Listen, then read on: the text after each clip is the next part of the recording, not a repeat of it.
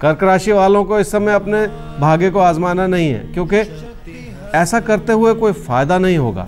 आपके खर्चे और आपके दबाव बढ़ते हुए नज़र आ रहे हैं, इसलिए आपको और ज़्यादा संभल के चलना ही होगा। क्या करना चाहिए समय में? रोज़मर्रा के खर्चे जो हैं, उन्हें काबू में ले आइए।